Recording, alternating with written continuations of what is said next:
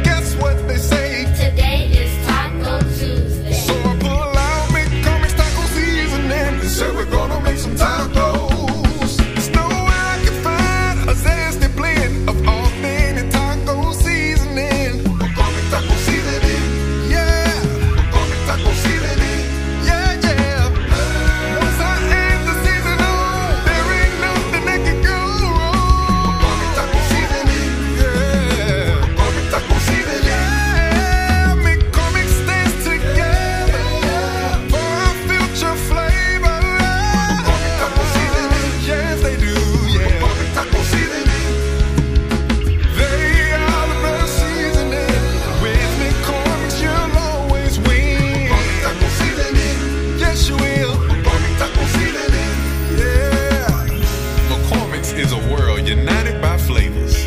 Where health is sustainable and delicious go hand in hand. McCormick Taco Seasoning. Listen, McCormick's Taco Season. They're really something